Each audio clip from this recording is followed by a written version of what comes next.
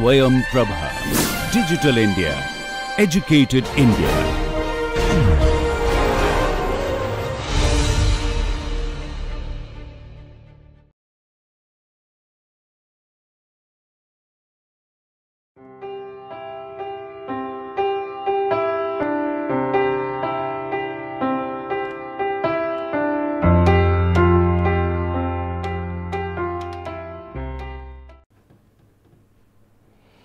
Hello everybody, let us start control chart analysis. If you recall my last class, in last class I have shown you that how time series data uh, exhibit different kind of patterns and in control chart analysis we also want to identify the patterns. Here the basic uh, issue is that the control chart ultimately identify the assignable causes means if there are any specific reasons for the behavior of the system in terms of accident occurrences. So, that can be identified through control charts. So, there are varieties of control charts, but we will be discussing a few which are relevant to us primarily from safety analysis point of view and second is uh, that uh, that suit that type of particular distributions. Okay. So, let us see that uh, what are the contents today. Uh, we will first describe what is what do we mean by control chart and then we will see that safety variables what can be used for control charts. Then we will see that how these safety variables ultimately lead to different distribution functions. And then we will find out that how the control chart parameters can be estimated. And then with certain examples we will we will revisit the things. And finally I will show you that different patterns uh, which basically uh, usually appear in the um, control chart and may, most of them uh, are applicable to quality related issues, but many of them are applicable to uh, safety related problems and I can say that uh, maybe most of all of them may be applicable to safety related problems, but it all depends on how do you encounter the situation if you have proper particular kind of data. So, so, control chart is a technique that is widely used in online quality monitoring system. Please keep in mind online quality monitoring. Okay. So, what is the need of doing this? So, it did, which determines whether a process or system with characteristics of interest is in control or not. For example, your, your department is performing at certain level depending on the design, depending on the procedure, depending on the process involved, depending on the people involved. So, its safety, inherent safety is at certain level. So, now what happened if you maintain all those component of the system with uh, effectively, so the safety performance will basically will be within that particular level what is uh, what is inherent to the system. Now, from the entropy principle you know that the component of the system will deteriorate and as a result what happened the safety performance also deteriorate. Now, if the deterioration is due to some factors like process or uh, procedures or the technology or the other way I can say the human um, um, or the software what you are using. So, then what happened? The deterioration can be can be attributed to a particular type of deterioration which should not have happened. And that particular uh, feature whether it is a human related, process related, procedure related, environment related that feature or features are responsible for that deterioration or I can say that deterioration can be assigned to that particular feature. So, if there is and, and, and this is known as assignable cause. So, if there is any assignable cause, so that cause ultimately lead to system improvement or deterioration.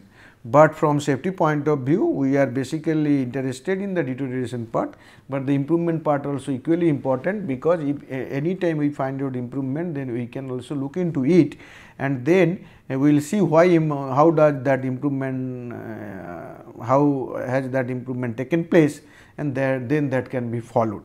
Okay. So, essentially then mean control chart uh, actually talks about the capability uh, within which uh, a process or a system will perform and beyond that Uh, if any any situation arises then that can be attributed to actionable causes that is what we will see. So, the procedure of control chart involve finding out the upper control limit, central limit and lower control limit that we will discuss.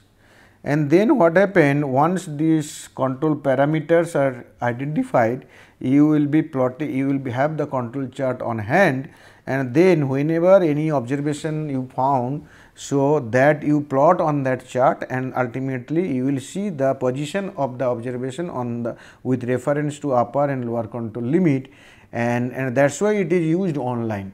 So, mean that first the suppose this is my chart, this is my upper control limit, this is my lower control limit, this is my central limit. Now, chart is ready with certain previous data you have made it.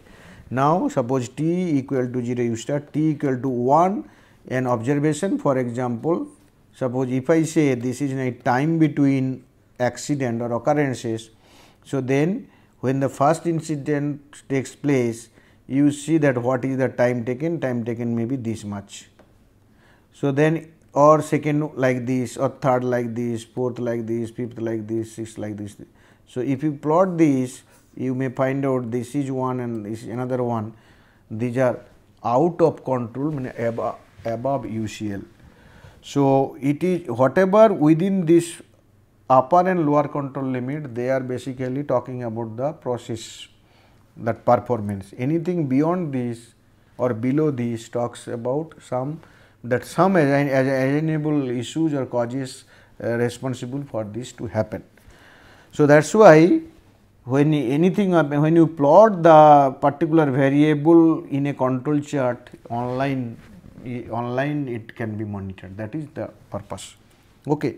If the ob observations are within UCL then the system is in control otherwise out of control.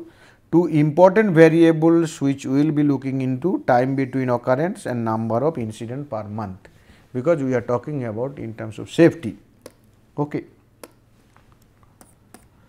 So, this is a typical control chart where the time between occurrence we have plotted. So, these are the incident number and this is time between occurrence this axis.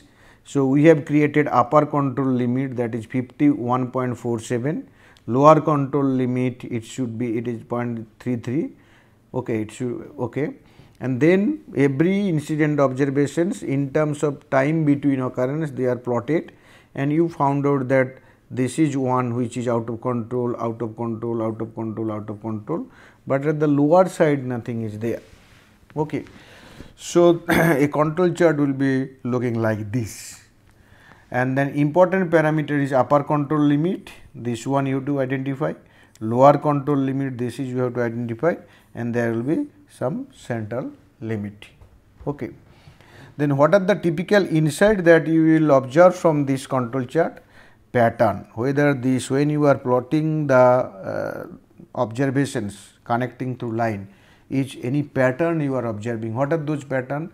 Pattern means whether it is basically random or whether it is systematic, there is trained and other things or not. So, that pattern. So, either the things will be the if, if any point is out of control mean be, be beyond LCL and UCL that is out of control. If there is any pattern that also relate to out of control situations, then either out of control observations or patterns once observed you have to find out the reasons for those out of control situations. So, that is what is the purpose of control chart. So, now when you talk about control chart, control chart over over that uh, that means here we are basically over time we are plotting from an incident point of view. Incident 1 incident 2 like the incident n. And here we have considered time between incident. And then in order to uh, first you have to design this control chart. In the design you have to find out UCL, you have to find out LCL and you have to find out CL and what for the particular variable of interest like here time between occurrences. Then you have to read this control chart. In the control chart you have to read out of control observations like this or the pattern or and also you have to find out the regions and then those regions should be should be properly addressed so that this out of control situation will not occur. Interestingly as safety is a one sided variable means either if we say safety it is higher the better or if we say incident it is lower the better. If we say TBO time between occurrence it is higher the better.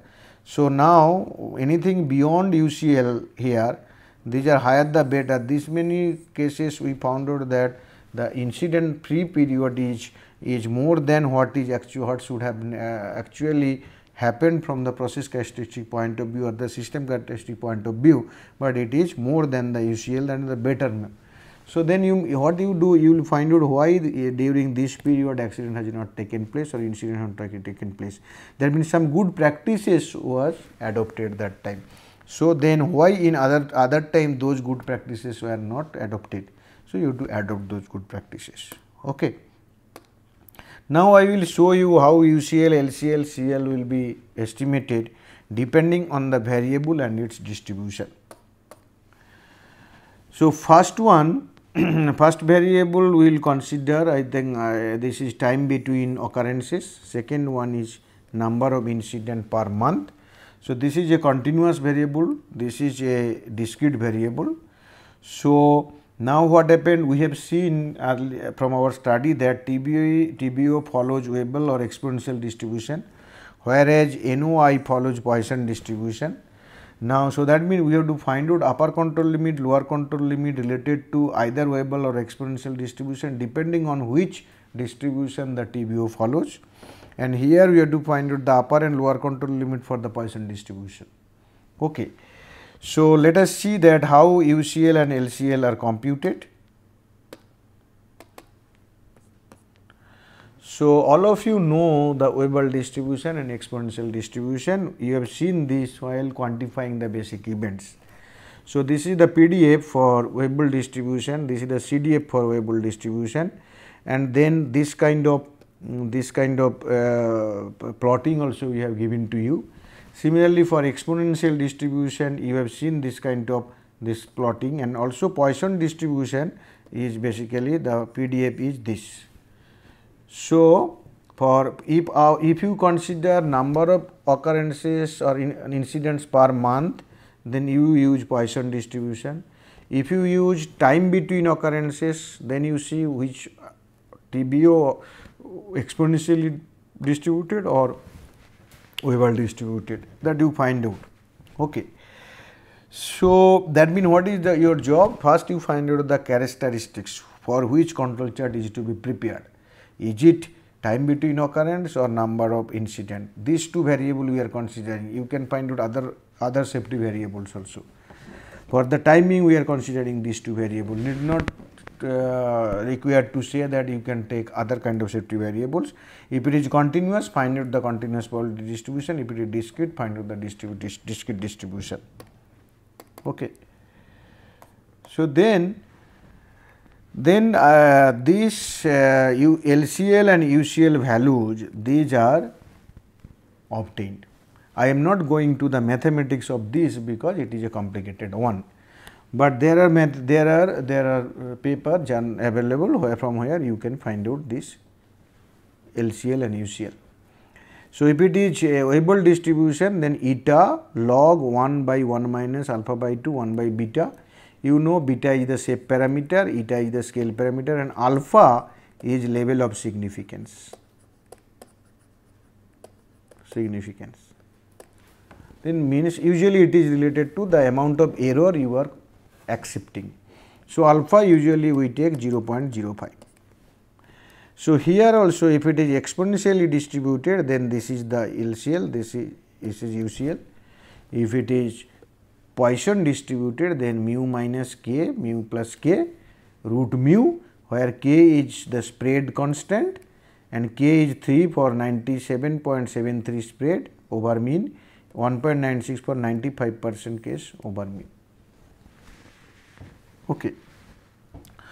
So, that control chart with Weibull distribution, exponential distribution, uh, there are their paper in reliability engineering and system safety.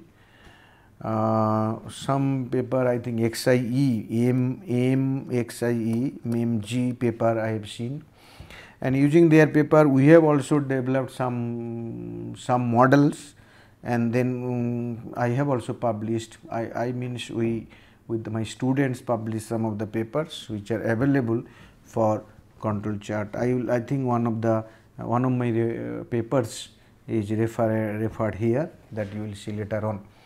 So, if anybody interested to know that how these things are coming, so please go through that paper and the cross references, so you will be able to find out. So, essentially what happened that way, if I know LCL and UCL and CL, CL is the mean value here.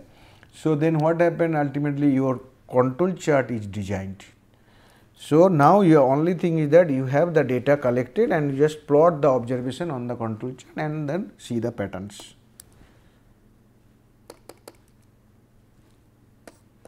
Okay. So, its detail of data set incident data comprises of attribute which with detail of location, cause, effects etc. And it is basically study in the coke oven battery used to convert coal, coke oven battery used to convert coal into coke by carbonizing coal in absence of air. The process steps involved are coal charging and coal preparation number of observations we considered we got 30 uh, 63 observations over a period of 3 years. Then we, we have seen that whether this data is following Weibull 2 parameter Weibull distribution or not. Then we plot and we found that the plot shows the resembles a straight line pattern. So, we are saying it is Weibull distributed.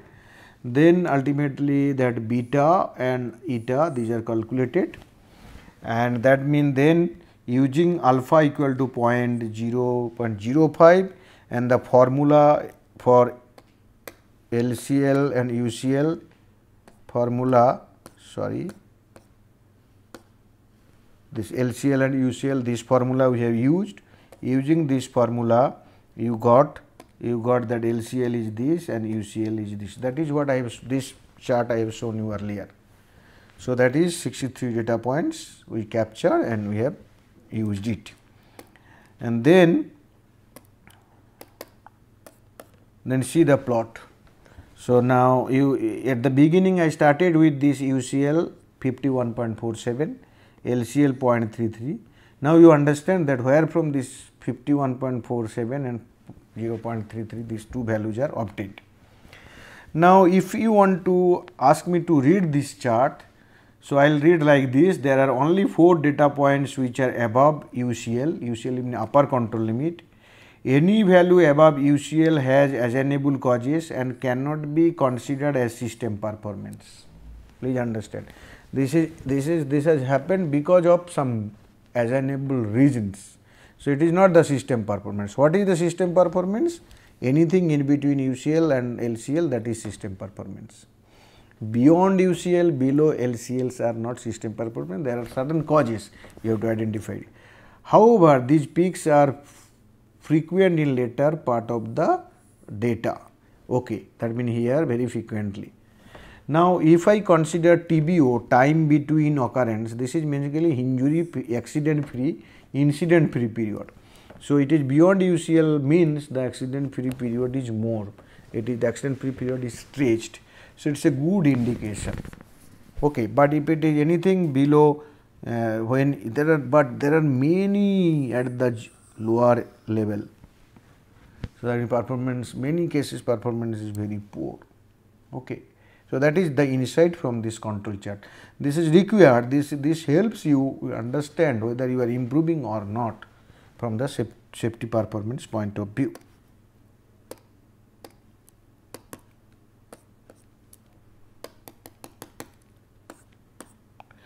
Now, if you see the number of uh, incident per month for the same data set, then what we are finding out that we calculated is a Poisson distribution and we calculated the parameter of the Poisson distribution and corresponding LCL and UCL. Please remember if LCL is minus it should be converted to 0. Okay. So, here interestingly data we do not have any observation beyond control limits hence we can say that system is in control, but when in terms of TBO you got one picture in some NOI you are getting another picture. So, definitely because the uh, these these all relate uh, although from the same system, but different variables give different picture. So, ultimately you have to choose which one is best suitable variable for your case in terms of safety performance improvement and accordingly or you choose, uh, choose many of such safety variables and variable safety variable for which the system performance is deteriorated there you concentrate on. Okay. So, now I will I will just show you some of the general things which are applicable not only for the NOI chart or TBO chart, but it is it is applicable for any other chart and not necessarily related to incident data it can be related to any other data. So, very quickly I will finish that part. So, there will be you will find out the different kind of pattern in the control chart. Here you see that these and these these are basically that that freaks result from causes that have large effect, but occur infrequently. If you see the entire the, the only two times it occurs beyond UCL. So, I am not saying that this is basically uh, incident data this any kind of data so, then the large effect may be positive or may be negative, but whatever may be the large effect are there, but these will occur infrequently. So, when investigating such freak values, look at the cause and effect diagram for incident that meet these criteria. So, that means here during this particular time, what was the situation for the plant? So, you have to investigate thoroughly. Okay. So, let me tell you these charts we have taken from this book that uh, Keller and Pyzdek Six Sigma handbook from that book we have taken these figures. Okay, most, most of the words also we have taken from that book. So, one is freaks, second one is drift if you see this figure, you see that the purpose system performance is decreasing, suddenly there is a jump and again started decreasing. So, this is the point, this the drift has taken place. Although it is it is showing one pattern, decreasing pattern, this also showing decreasing here, decreasing here, but here is a sudden drift. Drift is generally seen in process where current process value is partly determined by previous process states. Then another one is a cycle. You see the cycle is happening here. Cycle. So, this is also not in control, this is also not in control status. Cycles often occur due to nature of the process. Common cycles include hour of the day, day of the week, month of the year, quarter of the year, week of the accounting cycle and so on. So, these cycles you must understand and, and this basically helps you to take appropriate care because if this is the nature of the process then the cycle will occur and accordingly you have to take care properly. Then another one is the repeating pattern. You see it is a repeating pattern here. A control process will exhibit only random looking variation. A pattern where every nth item is different is obviously non-random. These patterns are sometimes quite subtle and difficult to identify. Why it is happening? It is very difficult to identify, but it happens. And if it happens, it is a things to be investigated. It is not in control. Another one here this is UCL and this is LCL. You may think it is very much under control, but this is discrete data. It is also a question uh, things to be investigated. In real world, the data are never completely continuous. It is usually does not mat matter much if there are 10 or more different numbers. However, when there are only a few numbers that appears over and over, then the problem will occur because here 1, 2, 3, 4, 5 you see 5 different this is one type of values another values this is another values. So, 5 different values this variable which variable you consider they it takes only 5 values and then you will get this kind of plot and when you eh, develop the UCL and NCL you will find it is within control, but actually not because this is a discrete data problem. So, that is why the recommended one is that at least the data should have 10 or more different numbers, different values it should assume. Okay. So, this is what is the what is the way to understand the control chart. Control chart will basically really help you. Okay. So, apart from what we have discussed, there are there can be situations where you have changed your plant or the procedure or something you have changed because for the cause of improvement you have changed, but it is it is also to be recorded in the control chart. So, before change this is the chart and after change this is the chart. So, if we say this is the higher the better kind of variable then this is definitely a better better performance.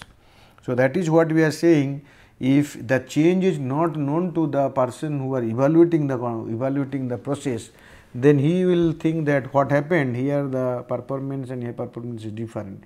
So, uh, it is always better such changes to be recorded in the control charts. And there is another one that suspected differences. Okay. So, seemingly random patterns on a control chart are evidence of unknown causes of variation which is not the same as uncaused variation. To identify the cause we can do retrospective evaluation of control chart. For example, if operator is suspected cause of variation, place a label on the control chart point produced by each operator if the label exhibit a pattern, there is evidence of suggested problem. That means you have many people working together. You know that there are some workers who are problematic worker. So, when they are operating the machine, so you that time that they are basically suspected operators or suspected worker or suspected machine also maybe not necessarily only operator suspected thing. So, just label them and then you see whether you are get for those label values you are getting any pattern or not. And then obviously, if you get, any pattern exhibit any pattern that kind of labeled observations it suggests that your sus the suspicion or the the hypothesis of suspe suspected hypothesis is correct. Okay.